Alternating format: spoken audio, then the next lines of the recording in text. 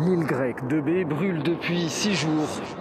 La Grèce est ravagée par des incendies depuis bientôt deux semaines. Dans la région de Vancouver, le thermomètre affiche plus de 49 degrés. Au moins 130 décès depuis vendredi, selon les autorités qui multiplient les mises en garde. Des villes envahies par les flots, ces images de paysages dévastés en juillet dernier par les inondations en Allemagne et en Belgique.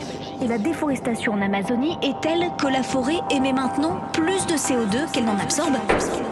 Face à des incendies hors de contrôle par endroits, le gouvernement met maintenant en cause la vague de chaleur qui frappe la Turquie.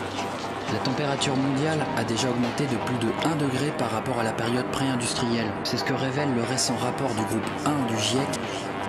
À Madagascar, 14 000 personnes sont en situation de famine d'après l'ONU. Principal responsable, la sécheresse.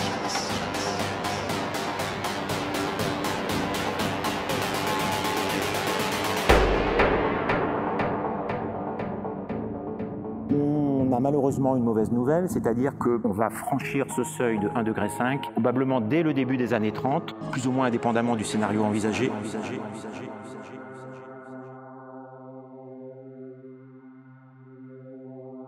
La COP26. La COP26. La COP26. COP26 à Glasgow. Cette conférence des partis sur le climat annoncée depuis plus d'un an comme hyper importante et pleine d'ambition avec des engagements, des efforts à muscler et à démultiplier. L'accord international est le premier jamais conclu pour réduire l'utilisation du charbon. Nous nous fixons comme objectif zéro déforestation d'ici 2030, voire avant. Les deux plus gros pollueurs de la planète ont déclaré vouloir une alliance commune pour lutter contre le changement climatique.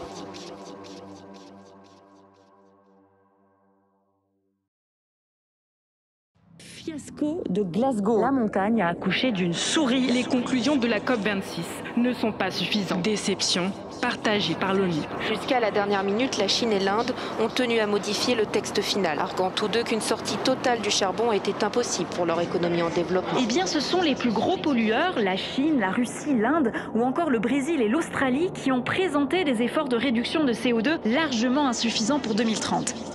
Cette absence d'ambition à court terme nous dirige tout droit vers un réchauffement de 2,7 degrés d'ici 2000. Alors qu'il faudrait limiter à, vous le savez, 1,5, 2 degrés grand maximum si on veut continuer à vivre à peu près convenablement sur cette planète.